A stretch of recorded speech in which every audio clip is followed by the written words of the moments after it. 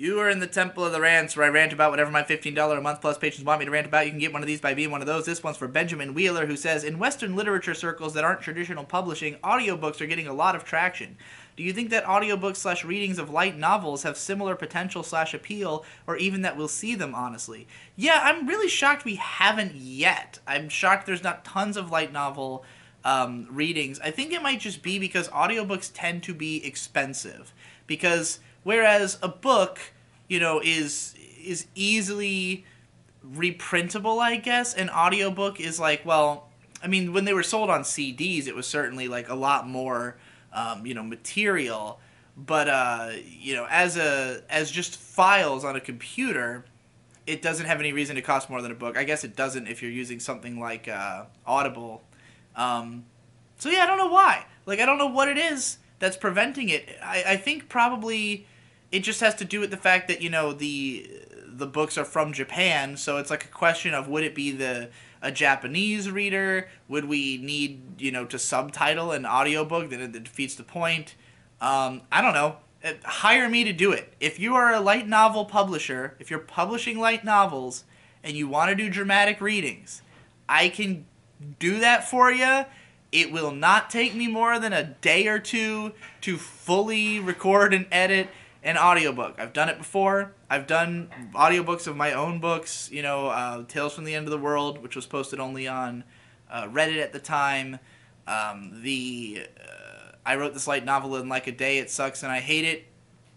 Did that whole audiobook in like a day, if that, not even.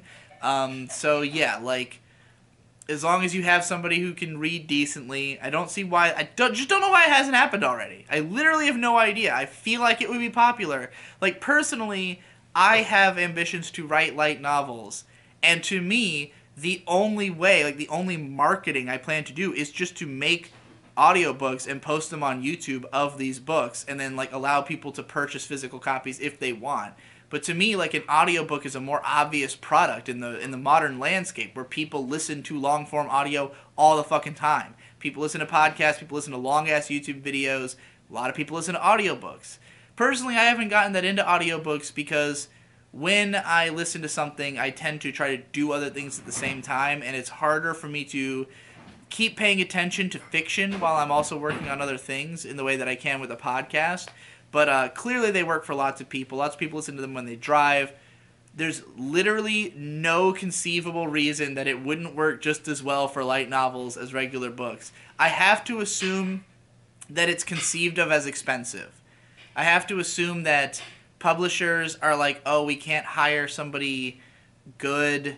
I don't I don't know. Cuz like an audiobook would be cheaper for them to reproduce and sell. Like a, a book has to be fucking distributed and, and fucking transcribed to paper. They could just sell an audiobook version um, and it's infinitely reproducible. So all you have is the flat rate of paying the actor.